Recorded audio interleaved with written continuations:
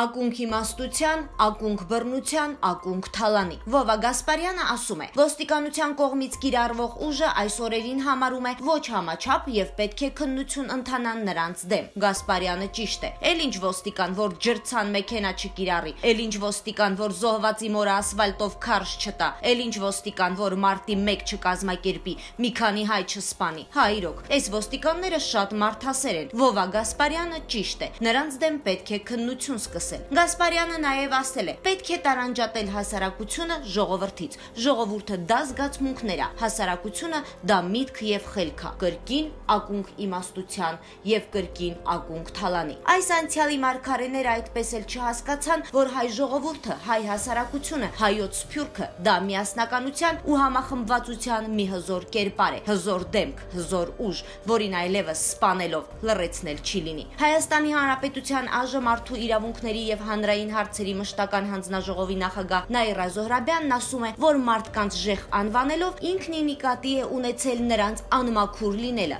որի հոմանիշներից մեկն էլ հենց ժեղ բառն է։ Սիրելի հետևորդներ, ես պարզապես կասեմ Նաիրա Զոհրաբյան եւ կխնդրեմ մեկնաբանություններում գրել այս բառակապակցության հոմանիշները։ Անցնեմ սպասվող խորհրդարանական արտահերտ ընտրություններին։ Կատարյալ անմտություն են 17 կուսակցությունների այն պնդումները, իբր իշխանությունը վախ վախեցավ փողոց դուրս եկած քաղաքացիներից։ Այդ իսկ պատճառով հայտարարեց արտահերտ ընտրությունների գնալու պատրաստակամության մասին։ Հաշվի առնելով այդ կուսակցությունների ունեցած հսկայական ֆինանսական, մարդկային, լրատվական ու կուսակցական ռեսուրսները վերջիններից չհաջողվեց ժողովրդին փողոց հանել ու հասնել իշխանության հրաժարականին։ Անկամ մեծ գումարների դիմաց մարդիկ հրաժարվեցին դուրս գալ փողոց, եւ դա նշանակում է մեկ բան. հայ ժողովուրդը տեր կանգնեց իր իրականացրած հեղափոխությանը։ Իշխանությունը Պետությունը հայտարարեց արտահերտ ընտրությունների մասին, իսկ փողոց դուրս եկած ընդդիմության ողնաշարը ջարդվեց ու վերջինների սանձորությունը բացահայտ դարձավ։ Եվ նրանք կարծես թե հասկացան, որ ոչ մի շանս չունեն իշխանության գալու։ Իրենց ընդդիմություն հրճակած կուսակցությունները շարունակում են կարծել, որ երկրում իշխանության կարելի է գալ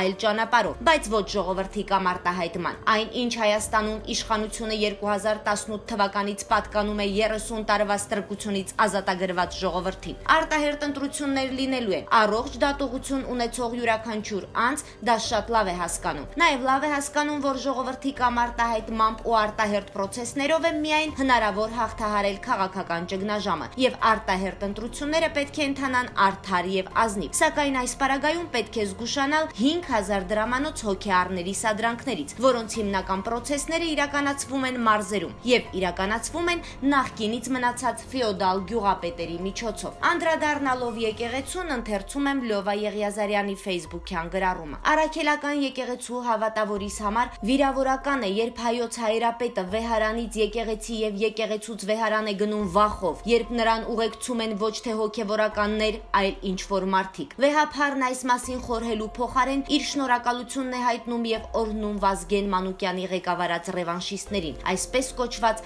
աջակցության համար։ Վեհափար Տեր, դուք աջակցության կարիք չպետք է ունենայիք, եթե չզբաղվեիք քաղաքականությամբ եւ ձեր հոտի յուրաքանչյուր անդամին նայեիք հավասար։ Եկել է ձեր գահը ուրիշին փոխանցելու պահը, քանի որ դուք այլևս ամենայն հայոց չեք։ Ներկայացնում եմ ԱԺ падգամավոր Արմեն Խաչատրյանի առաջարկը կառավարությանը Սյունիքի մարզում տեղի ունեցող սահմանազատումների վերաբերյալ։ Հաշվի առնելով Սյունիքի մարզում իրականացվող սահմանազատման գործընթացների ընթացքում Հայաստանի Հանրապետության ազգային անվտանգության շահերի արդյունավետ պաշտպանության կարևորությունը այդ գործընթացների նկատմամբ նկատմամբ հանրային մեծ հետաքրքրությունը, ինչպես նաև ԶԼՄ-ներում հասարակական քաղաքական կազմակերպությունների, նրանց ներկայացուցիչների կողմից հնչեցվող տարաբնույթ հակասական տեղեկությունները, ինչը առաջացրել է բնակչության շրջանում անորոշության, տագնապի եւ անվտանգության երաշխիքների բացակայության զգացողություն, ինչպես նաև հիմնվելով Սյունիքի մարզում իմ կողմից իրականացված դիտարկումների արդյունքներին Հայաստանի Հանրապետության կառավարությանն առաջարկում է. Հրատապ ռեժիմով ստեղծել դիտորդական աշխատանքային խումբ խումբ եւ 5 օրյա ժամկետով գործուղել Սյունիքի մարզ սահմանազատման գործընթացները դիտարկելու եւ հասարակական վերահսկողություն իրականացնելու համար։ Աշխատանքային խմբի մեջ ներգրավել խորհրդարանական ուժերի մեկական կամ երկուական ներկայացուցիչ, արտախորհրդարանական հասարակական քաղաքական ուժերի ներկայացուցիչներ, Հայաստանի Հանրապետության ԱԱԾ սահմանապահ զորքերի ներկայացուցիչ, Հայաստանի Հանրապետության Պաշտպանության նախարարության ներկայացուցիչ, ԱԱԾ տարածքային ստորաբաժանման պետ, դիտարկվող համայնքի ղեկավար, տարածքային աշխատանքային կառավարման նախարարության ներկայացուցիչ, արտաքին գործերի նախարարության ներկայացուցիչ, անհրաժեշտության դեպքում նաև փորձագետ մասնագետ։ Ապահովել աշխատանքային խմբի տեղաշարժման եւ բոլոր համայնքներում աշխատանքներ իրականացնելու համար անհրաժեշտ պայմանները՝ տրանսպորտ, աշխատանքային խորհրդակցական սենյակներ, բնակիչների հետ հանդիպումների հնարավորություն եւ այլն։ Աշխատանքային խումբը աշխատանքները ավարտելուց հետո 5 օրյա ժամկետում ներկայացնում է գրավոր եզրակացություն չհաղթարվող ճգնաժամ, որը ողբերգությունը պատճառից վեր է ածում առիթի։ Կասկածից վեր է, որ Հայաստանում կայացած եւ հանրային կայուն շոշափելի վստահություն սոցիալական բազա ունեցող ընդդիմադիր ուժի արկայության պարագայում նոյեմբերի 9-ից հետո Հայաստանում արդեն իսկ տեղի ունեցած կլիներ իշխանության փոփոխություն, բայց Հայաստանում կա ընդդիմության ճգնաժամ, եւ սա չի վերաբերում որևէ առանձին վերցրած ուժի, Սա երևույթ է, որ Հայաստանում արկա էր մինչև Թավշյա հեղափոխությունը, բազմաթիվ խորհրդային պատճառներով։ Երևույթը առավել եւս շարունակվեց Թավշյա հեղափոխությունից հետո, երբ շատ բարդ էր լինել ընդդիմության մի ուժի, որը իշխանության էր եկել հանրային գերակա աջակցության պայմաններում։ Առավել եւս, երբ նախորդ համակարգին ընդդիմադիր ուժերի մի զգալի մասը եղան հեղափոխության աջակիցներ մասնակիցներ, որ որոշները անգամ ներգրավվեցին նոր իշխանության շրջանակ։ Մյուս կողմից մեկ այլ բարդություն էր այն, որ հեղափոխությունը ծածկում էր ամենատարբեր քաղաքական օրակարգեր, օբյեկտիվ եւ սուբյեկտիվ պատճառներով, ինչը եւս բարդացնում է ընդդիմադիր գործունեությունը։ Երրորդ հանգամանքը այն էր, որ ընդդիմության ճգնաժամը սկսեց խորացնել նախկին իշխանությունը։ Իր քաղաքական հաշվարկներից ելնելով նախկին իշխող ուժերը սկսեցին դիրքավորել ընդդիմադիր դաշտում, եւ այդ դաշտում գերակա կամ գերիշխող լինելու համար նրանք ընտրեցին մի մարտավարություն, եւ կոշտ եւ անգամ կոպիտ հրետորաբանությամբ քննադատելով իշխանությունը նույնը անելու հարցում կաշկանդում էին այլ ուժերի, որովհետև ընդդիմությունը այլևս ասոցացվում էր լոկ նախկին իշխանության հետ հանրությունը, որ վստահում էր նոր իշխանությանը, անխնա սկսում էր քննադատել նախկին իշխանությունների ներկայիս ընդդիմությանը։ Նախկին իշխանության ուժերը այդպիսով վերցնում էին իրենց վրա անխնա կրակ, բայց փոխարենը ստեղծում էին յուրօրինակ պատնեշ միջավայր, երբ որևէ այլ ուժ զգուշանում էր ընդդիմադիր էական գործունեություն ծավալելու, նախկինի հետ չասոցացվելու եւ հանրային կրակ իր վրա չընդունելու համար։ Այդպես ընթացան հետհեղափոխական երկու եւ մոտ կես տարիները, աննկատ կամ նկատելի խորացող ընդդիմության եւ նաեւ իշխանության քաղաքական ճգնաժամով, որովհետեւ քաղաքական մրցակցությունից դուրս մնացող իշխանությունը ենթարկվում է քաղաքական խեղման, քաղաքական դեգրադացման, հատկապես երբ ինքնին քաղաքական չի եղել, եղել է հեղափոխական, որի օրակարգի զուտ քաղաքական բովանդակությունը ու բաղադրիչը չնչին էր, դարձյալ օբյեկտիվ եւ սուբյեկտիվ պատճառներով բայց այդ բաղադրիչը ժամանակի ընթացքում չավելացավ, ինչի համար բավականին ջանք գործադրեց նաև նախորդ կառավարող համակարգը իր քաղաքական դիրքավորումներով։ Դրա միջոցով այդ համակարգը պահեց իր քաղաքական դիրքերը։ Նոր կառավարող ուժը հոժարակամ ընդունեց այդ տրամաբանությունը ու ձեռնոցը, որովհետև նախորդ համակարգի հետ դիմակայությունը իր համար դիտարկում էր շահեկան հանրային տրամադրությունները պահելու տեսանկյունից։ Եթե հանրությունը ուներ ինչ-որ դժգոհություն կամ տարակուսանք, ապա այն անմիջապես ծածկվում էր նախկին ներկա դիմակայության նոր ալիքի բռնկումով եւ օրակարգը վերստին վերադառնում էր այդ դաշտ։ Իսկ այդտեղ նոր մեծամասնությունը իրեն համարում էր ուժեղ։ Այդ պատկերն է գործնականում նաեւ այժմ։ Պատկերը ու տրամաբանությունը։ Այդպիսով Թե նախորդ համակարգը, թե գործող մեծամասնությունը լուծում են ոչ միայն ընթացիկ քաղաքական խնդիրներ, այլ գործնականում փորձում են լուծել խնդիրներ նաև միջնաժամկետ, արտահերթ ընտրության հերանեկարի համատեքստում։ Իհարկե, անհեթեթ կլինի ասել, թե հենց դա է ներկայիս քաղաքական իրողությունների գլխավոր մոտիվը ու տրամաբանությունը։ Այստեղ անշուշտ կան լրջագույն այլ մոտիվներ, պայմանավորված պատերազմում ծանրագույն պարտությամբ եւ ողբերգական կորուստներով։ Սակայն ամբողջ հարցը այն է, որ այդ ամենը աստիճանաբար պատճառից անցնում է ցավագին ողբերգական բաց առիթի կատեգորիա, որովհետև օրակարգում լուծումների եւ հերանեկարների վերաբերյալ քաղաքական բովանդակության մասնաբաժինը շարունակում է մոտ լինել 0-ին։ Հայաստանում շարունակում է կենսականորեն խնդրահարույց լինել ընդդիմության ինստիտուցիոնալ ճգնաժամի խնդիրը։ Սահմանազատումը կարող է տասնյակ տարիներ տևել, բայց քանի Հայաստանը թույլ վիճակում է, նոր պայմանագիր չպետք է կնքի։ Սյունիքի մարզում ներկայումս տեղի են ունենում սահմանային կետերի տեղորոշման աշխատանքներ, որոնք ունեն որոշակի բարդություններ։ Մեր համոզմունքը այն է, որ այդ աշխատանքը պետք է տեղի ունենա, որը անհրաժեշտ է Սյունիքի եւ ընդհանրապես Հայաստանի Հանրապետության անվտանգության ապահովման տեսանկյունից։ Համենայն դեպս մեր պաշտպանության նախարարության դիրքորոշումը այն է, որ մենք այս գործունեությամբ, որը կարող է ամենատարբեր մեկնաբանությունների տեղիք տալ, ավելացնում ենք Սյունիքի անվտանգության երաշխիքները, Սյունիքի եւ Հայաստանի Հանրապետության անվտանգության երաշխիքների նոր համակարգ ենք ձևավորում, հայտարարել է վարչապետ Նիկոլ Փաշինյանը։ Նա նշել է, որ երկու բնակավայրի հետ կապված կարող են ցակել որոշակի հարցեր։ Մեկը Սյունիքի մարզի Որոտանի Երկրորդը Շուրնուղ բնակավայրի մասին է, որտեղ կան որոշակի սահմանային հարցեր եւ որոնց շուրջ ամենօրյա աշխատանք է տեղի ունենում։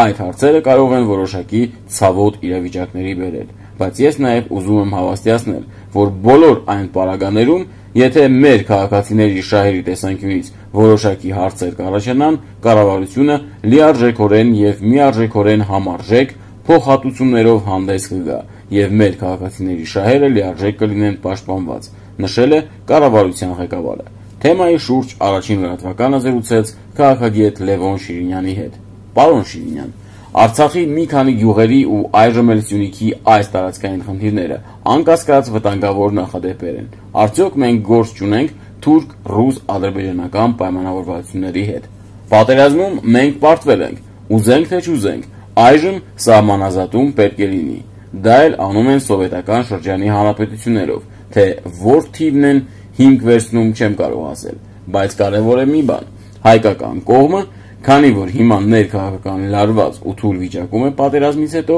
պայմանագիր չպետք է կնքի։ Մնացածը տեխնիկական աշխատանքներ են, որ իրականացվում են։ Անթույլատրելի է Ադրբեջանի հետ պայմանագիր կնքելը։ Պետք է աշխատանք տարվի ռուսների հետ։ Քանի որ պարտվել ես, Արցախը նախկին պայմաններով էլ չկա պետք է սահմանազատում իրականացվի։ Կարևոր է, որ այդ աշխատանքներին ընդգրկվեն աշխարհագրագետներ, մարդիկ, որոնք զբաղվում են սահմանազատման աշխատանքներով։ Ես այդքան իրազեկ չեմ, օրինակ, որ կոորդինացնեմ ու ինձ նման շատերը։ Կարծում եք այստեղ կան պայմանավորվածություններ, կարծում եմ ոչ։ Ես ինչքան գիտեմ, Ադրբեջանը 70 տարիներին անընդհատ մետրերով փորձել է առաջ գալ։ Դրա համար սահմանը պետք է պարզվի, Եթե ինձ լսեն, ապա 1926 թվականի 3 հանրապետությունների Հայաստան, Վրաստան, Ադրբեջան անդր ֆեդերացիայի հիման վրա կիրականացնեն։ Հիմա մենք թույլ վիճակում ենք։ Փողոցն էլ թույլ չի տալիս ռացիոնալ գործել։ Պետք չէ պայմանագիր կնքել, պետք է սահմանազատում իրականացվի։ Դա կարող է տևել տասնյակ տարիներ։ Երկրորդ, պետք է հիշել, որ թուրքը փոկելու է անընդհատ։ Դա իրենց խասյատն է։ Մեկը եղավ, երկուսն է ուզելու։ Բանակցողները պետք է շատ գրագետ, բարձր որակի մասնագետներ լինեն։ Հավանաբար, մեր խոշոր եղբոր կողմից ճնշումը շատ է, բայց պետք է պայմանագրի կնքումը ձգել ինչքան հնարավոր է։ Բայց հիմա թուրքական պրակտիկան ցույց է տալիս, որ եթե դուք այսօր ինչ-որ բանի համաձայնեցիք, ապա վաղը հետ բերելը դառնալու է անհնար։ Նախիջևանը նայեք 2010 թվականի կոալիցիոն կառավարությունը սահմաններ է սարքել։ Նայեք արդյունքը։ Դուք ասում եք, որ սահմանազատումը կարող է տևել տասնյակ տարիներ, բայց ստացվում է, որ մենք այդպես ամեն օր մի գյուղ կարող ենք կորցնել։ Կորցնել բառը փոխարինենք հետ բերելով։ Ասում են թուրքերը մեզ կկոտորեն, դուք կոտորեք։ Պայքարի տրամադրվեք, որ հետ բերեք։ Պարտադիր է, որ մենք կորցնենք։ Սա հրադադարի շարունակությունն է։ Ուզենք, չուզենք, գործընթացը պետք է իրականացվի բայց կրկնում եմ, պայմանագիր չպետք է կնքենք։ Բոլորը պետք է իմանան, մեր դիմաց թուրքն է, անգամ ընդդիմությունը։ Այլ ընտրանք չի առաջարկում, չի ասում չեղարկենք համաձայնագիրը։ Չի կարող առաջարկել, որովհետև ինքը ապակայունացնող է։ Իսկ Հայաստանի Հանրապետությունը պետք է լինի կայուն, կազմակերպված իր դիրքերի համար կռիվտը։ Ապակայունացած պետությունը աշխարհում ոչ միտեղ հարց լուծել չի կարող։ Մենակ մենք չենք։ Տարիներ շարունակ գցել են, ծախել, կաշառել Դա մեր աչքի առաջ է եղել, արդյունքն էլ հիմա տեսնում ենք։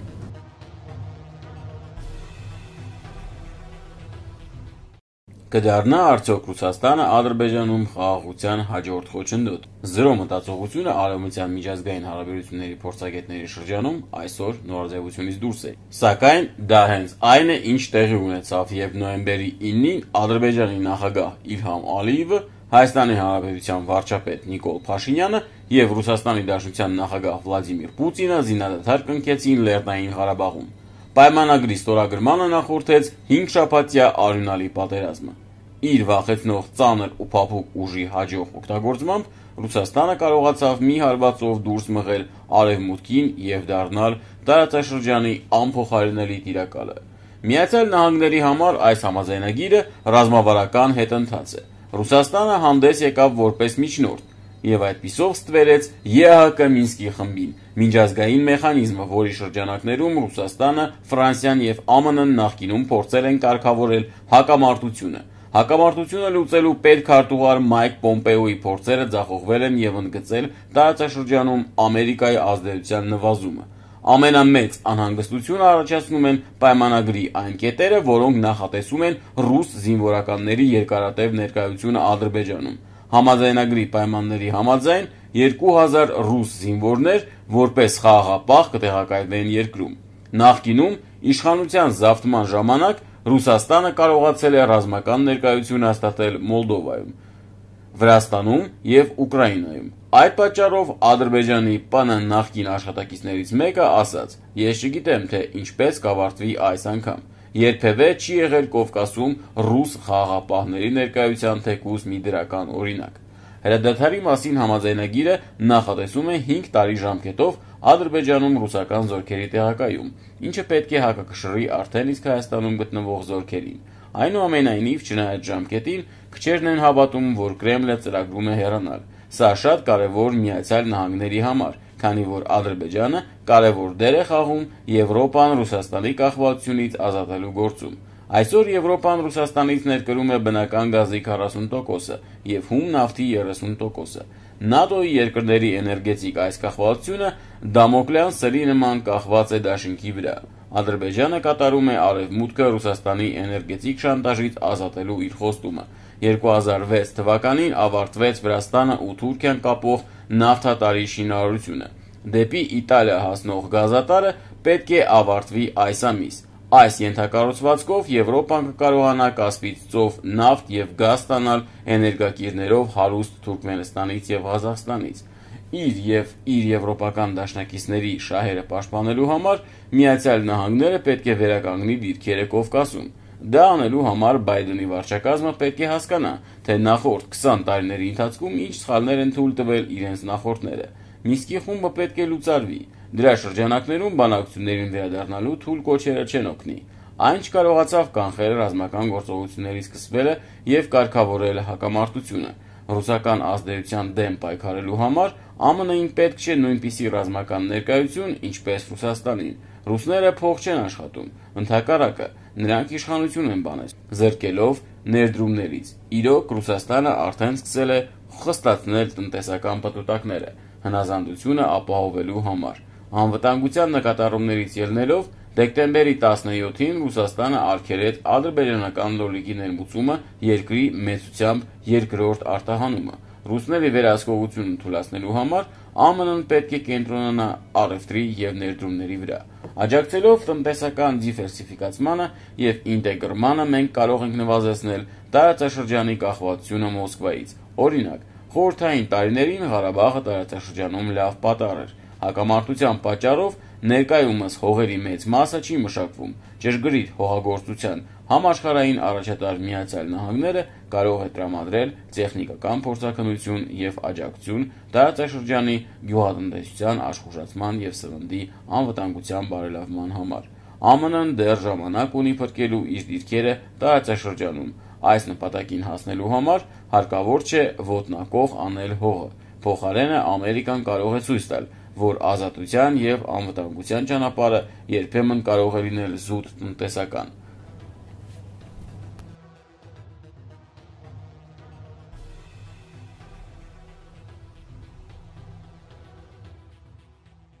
ՀԱՊԿ գաղտնի փաստաթուղթը. Ինչն էր էական պատերազմի սկզբի եւ ավարտի համար։ Հայաստանի Հանրապետության գլխավոր դատախազի խորհրդական Գոր Աբրահամյանը հայտնել է, որ ՀԱՊԿ-ի հրապարակված փաստաթղթերի մասին տեղեկությունները, հրապարակումները դատախազության կողմից ուղարկվում են Հայաստանի Հանրապետության ՀՔՑ այնտեղ քննվող քրեական գործի շրջանակներում քննության առարկա դարձնելու նպատակով։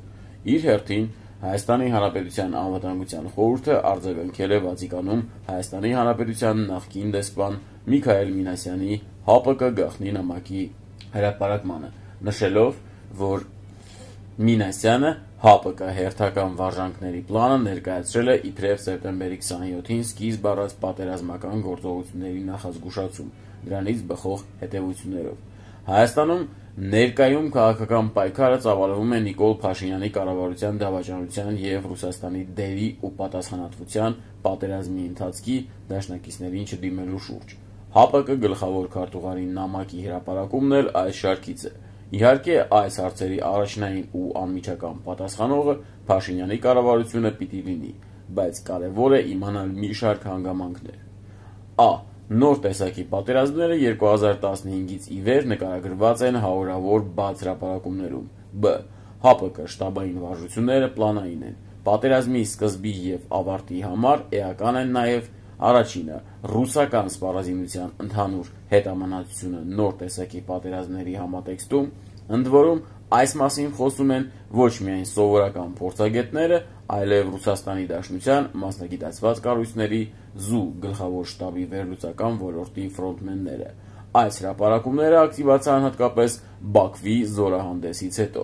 Հայաստանին մատակարարվող սպառազինության հետամնացությունը հատկապես։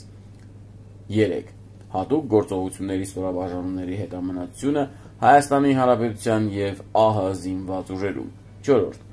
Հայաստանի Հանրապետությունում եւ ԱՀ-ում տեղակայված ՀՕՊ միտումնավոր անգործությունը պատերազմի հատկապես առաջին եւ վերջին օրերին եւ ամենակարևորը ՀԱՊԿ-ն բազմիցս նշել է, որ Արցախը չի մտնում իր պատասխանատվության գոտու մեջ, իսկ Հայաստանի Հանրապետության զինուժի անմիջական մասնակցությունը պատերազմին բացառվում էր Պուտին-Էրդողան համաձայնությամբ։ Պետք է նկատի առնել նաև, որ ՀԱՊԿ անդամներից Բելարուսը եւ Ղազախստանը աջակցում էին Բաքվին։ Իր հերթին Հայաստանի անմիջական դիմումը Ռուսաստանին եղած պայմանագրերի շրջանակում միջամտելու նպատակով Մոսկվան մերժել է կոնսուլտացիաների անհրաժեշտության պատրվակով։ Կարևոր հարց է նաև, թե ինչու ՀԱՊԿ-ն արտահոսել է այդ փաստաթուղթը։ ՀԱՊԿ պատասխանատվության գոտում սահմանների տեղորոշման, ինչպես նաև Հայաստանի տարածքը անվտանգային միջանցքներով մասնատելու վերաբերյալ ռուսական շրջանակներում քննարկումների ֆոնին։